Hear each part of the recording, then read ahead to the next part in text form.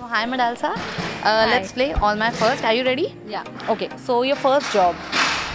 My first job was my first Telugu film when I was 16. Yeah. First Telugu film. Okay. Uh, your first salary and what you got from it.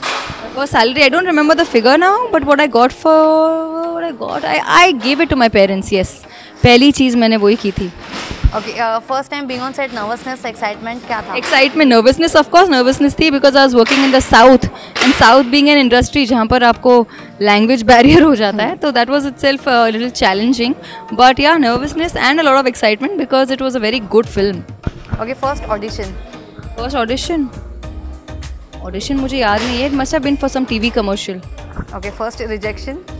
For the same TV commercial Okay. First co-star.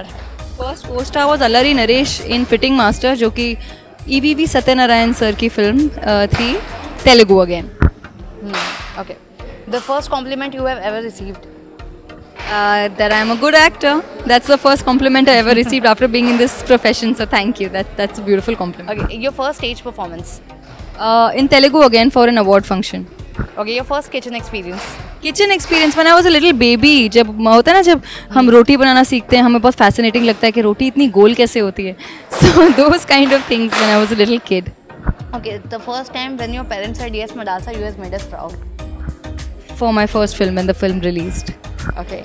And first celebrity crush. First celebrity crush Enrique Iglesias. Oh my god. Okay. When was the first time you feel like a celebrity?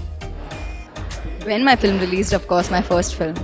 Okay. The first thing you have cooked. First thing I cooked, oh रे ये तो याद नहीं I'm sure it was Maggie. Okay. Uh, your first crush. School, college. College of course school तो बहुत छोटे थे तब Okay. uh, first boyfriend. School, college. अरे यार ये नहीं डिस्क्लोज कर रही ma'am sorry I am not single. Uh, लोगों को तो यूजुअली फ़र्स्ट किस याद रहता है आपको याद है? फ़र्स्ट किस मुझे याद नहीं है। बिल्कुल भी याद नहीं है। ओके ये first travel solo experience my first solo travel experience I think was oh yeah when i traveled to berlin it was all by myself. Uh, that was my first i think i was 19 years old and i went to berlin.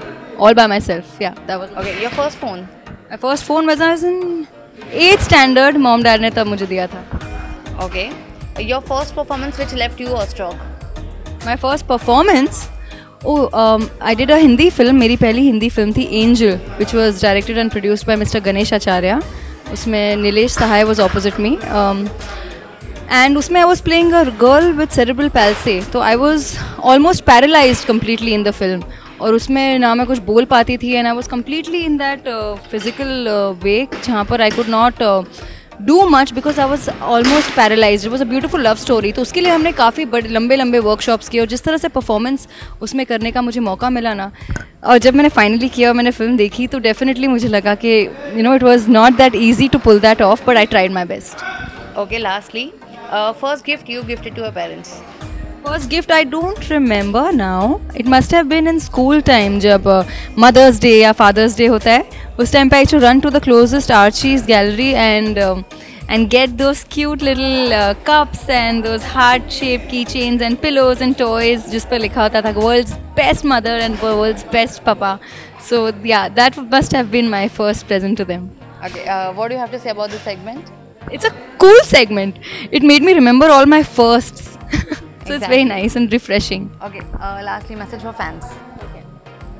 Um, thank you to all my viewers and all my fans for showering so much love and giving me so much love as Madalsa and Kavya. Thank you very much thank you very much and आपको हमेशा इसी तरह से entertain करती रहूँगी इसी तरह से प्यार दीजिएगा हमेशा थैंक यू